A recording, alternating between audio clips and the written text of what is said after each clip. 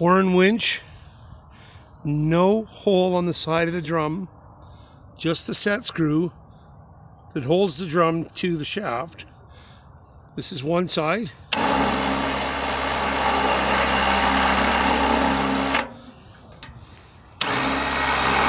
Wait, I'll bring that around, okay? No hole to mount the eyelet. Quickly grab the eyelet. Where do I put this? Normally it would go on the side like that. Where does it go?